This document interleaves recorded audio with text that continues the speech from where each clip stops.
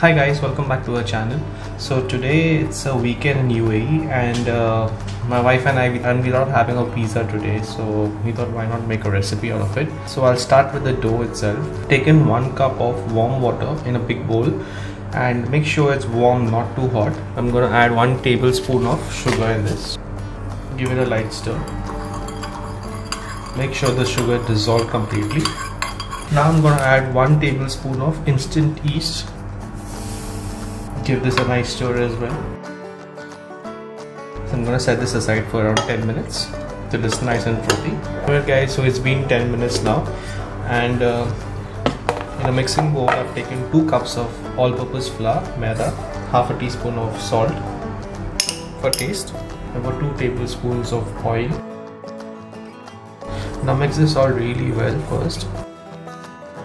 You can see the yeast is nice and frothy now now I'm going to pour this mixture in parts.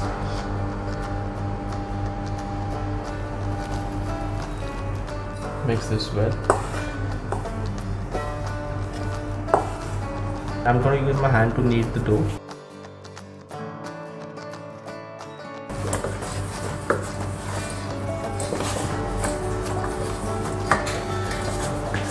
I knead it really well now. I'm going to grease this bowl with some oil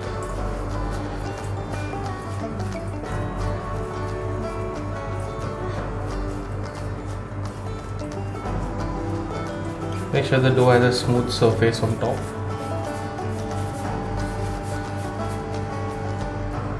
And place it in the bowl. Add some oil on the surface of the dough so it's not dry. Cover this with a lid and set it aside in a non-ventilated area for around one hour or so and this is a homemade pizza sauce uh, for that I'm going to take three cloves of garlic I'm going to chop them really fine you don't need much ingredients for the pizza sauce. I mean there is another process that is like uh, boiling the tomatoes and making a puree out of it. But uh, that's a lengthy process. This is the shorter version of it. Make sure you have tomato sauce handy. I'm gonna add this in the bowl. 4 to 5 tablespoons of the ketchup. 1 4 teaspoon of red chili powder 2 teaspoons of uh, red chili flakes. You can add 1 teaspoon or you can add 2 teaspoons of red chili flakes. That depends on the spiciness that you require for the pizza. And some oregano. I've taken around 1 teaspoon of the oregano and half a teaspoon of salt for taste. Now mix this all really well like so. Guys this is the quantity for around uh, for two large pizzas. If you are making more than two pizzas you can alter the quantity that way. So as you can see the dough has now risen. I'll sprinkle some dry flour and give it a punch.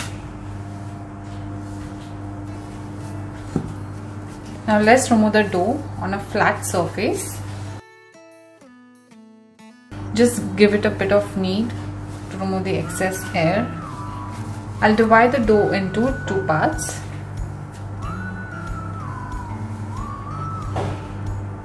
This will yield me uh, two medium sized pizzas. Just roll it into a round ball. Hold it from top like this, like pinch and hold and try to put pressure from the bottom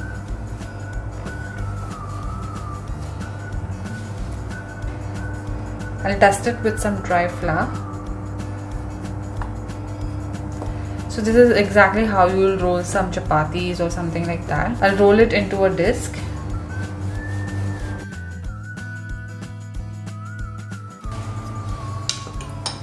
As you can see, I've rolled it into a nice uh, disc.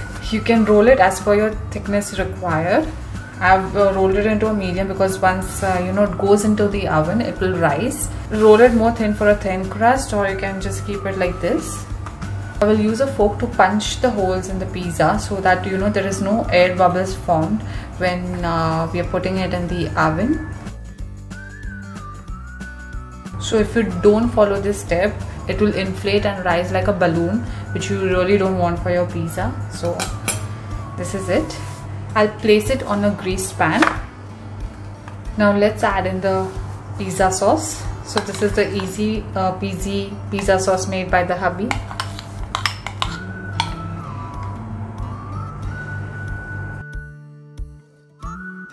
I'll spread the pizza sauce all over. So I've taken some paneer and I've tossed it in some masala like uh, garam masala, uh, chili powder and turmeric powder with some salt. I've just uh, you know gently uh, tossed it in these masalas. Now I'll top the pizza with these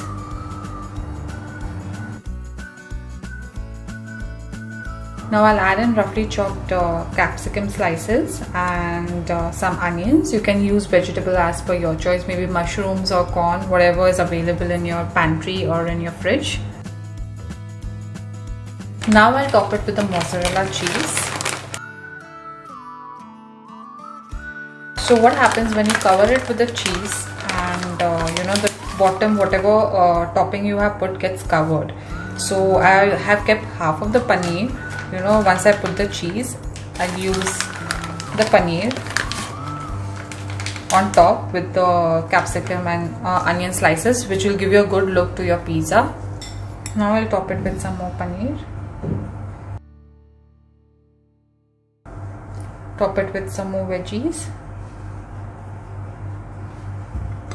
place the vegetables on top really well so it looks good when you know when you're eating it so I've topped it well guys and now I'll proceed to put it in the oven and I will let it bake for about 12 to 15 minutes at 200 degrees Celsius.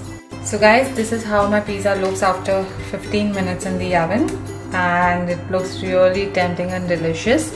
So now I'll be cutting it into uh, slices and I hope you enjoyed watching the video guys. Please do like and subscribe to our channel. You can also follow us on Facebook, Instagram and Twitter and show us your love. So we'll see you next time guys.